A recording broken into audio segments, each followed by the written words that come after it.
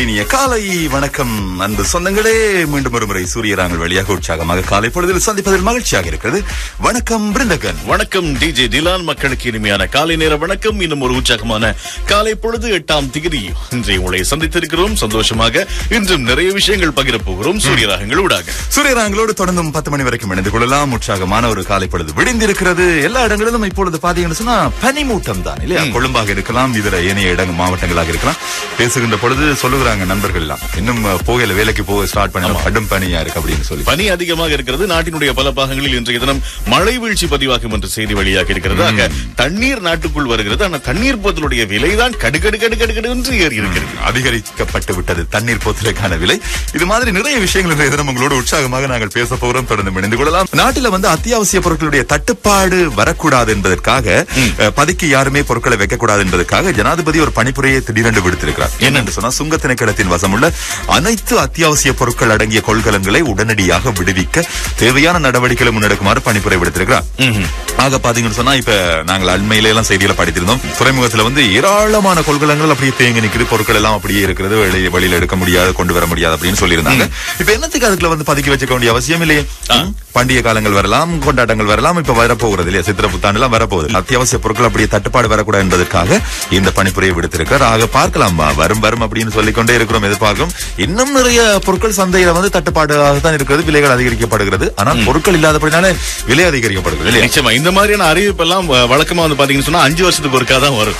ஆனா இந்த முறை பாத்தீங்கன்னு சொன்னா மாசத்துக்கு ஒருக்கா வந்துட்டு இருக்குது. அதனால மக்களும் பழகிட்டாங்க. அந்த பஞ்சம் ஏற்பட போகிறது பண தட்டுப்பாடு இருக்காது ஆனால் உணவு தட்டுப்பாடு இருக்கும். இந்த மாதிரி நிறைய கதைகள் உலவி கொண்டிருந்தாலும் தொடர்ச்சியாக அரசு மக்களை காப்பதற்கான நடவடிக்கைகள் தொடர்ச்சியாக ஈடுபட்டுக் கொண்டுதான் இருக்கிறது என்பதையும் நாங்கள் அடிக்கோடிட்டு இந்த இடத்திலே பதிவு செய்து கொள்கிறோம்.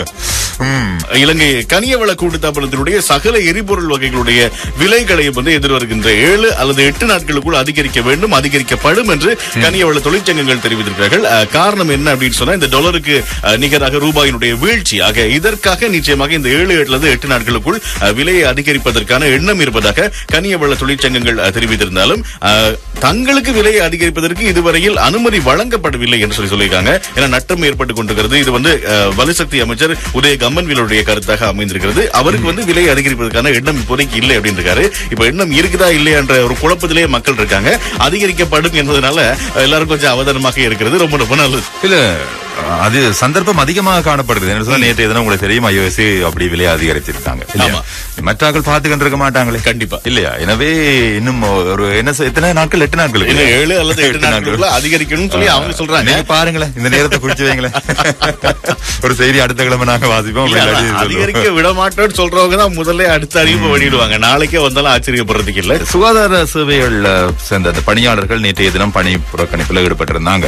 நேற்றைய தினம் பாத்தீங்கன்னு சொன்னா நிறைய இடங்கள்ல வந்து சிகிச்சைக்காக வைத்தியசாலைக்கு சென்ற நோயாளர்கள் நிறைய அசௌகரியங்களுக்கு முகம் கொடுத்திருந்தார்கள் இல்லையா? எவ்வாறாயினும் இந்த புற்றுநோய் சிறுவர் மற்றும் மகளிர் வைத்தியசாலை மத்திய குருதி வங்கி போன்ற செயற்பாடுகள் இடம்பெற்றிருந்த போதும் வழமையாக இடம்பெற்றிருந்த போதும் இந்த பணி பகிஷ்கரிப்பின் போது நிறைய நோயாளர்கள் பல சிரமங்களுக்கு முகம் கொடுத்திருந்தார்கள். அவர்களுடைய பணி புறக்கணிப்பு பிருந்தகன் இன்றைய தினமும் தொடரும் அப்படின்னு சொல்லி அறிவிக்கப்பட்டிருக்கு. இந்த வேதன உயர்வு உள்ளிட்ட ஏழு முக்கிய கோரிக்கைகளை முன்வைத்து தான் தாதியர்கள் உள்ளிட்ட பதினெட்டு சுகாதார சேவை தொழிற்சங்கங்கள் நேற்று காலை முதல் பணி புறக்கணிப்பை நடவடிக்கையில் ஈடுபட்டிருந்தாங்க.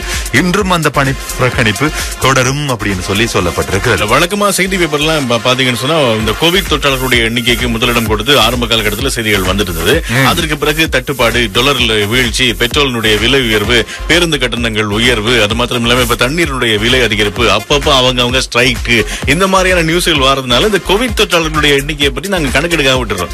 இந்த நேற்றைய நாளை பொறுத்த வரைக்கும் பாத்தீங்கன்னா சொன்னா ஆயிரத்தி எட்நூற்றி தொண்ணூற்றி எட்டு பேருக்கு கோவிட் நைன்டீன் தொற்று செய்யப்பட்டிருக்கிறது. ஆறு லட்சத்து இருபதாயிரத்தை கடந்திருக்கிறது ஒட்டுமொத்த தொற்றாளர்களுடைய எண்ணிக்கை. ஆக கோவிட் தொற்றும் வேகமாக பரவி கொண்டிருக்கிறது இந்த சிக்கல்களுக்கு மத்தியில்.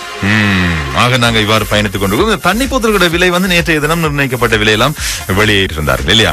ஐநூறு லிட்டர் அதாவது அரை லிட்டர் வந்து பாத்தீங்கன்னு சொன்னா ஐம்பது ரூபாவாக அதிகரிக்கப்படும் நான் நினைக்கிறேன் அது முப்பத்தைந்து ரூபாயில் இருந்தது போல இருக்கு இல்லையா. நாங்க வேண்டி பருகி இருக்கிறோம் இல்லையா? குடிச்சிருக்கிறோம்.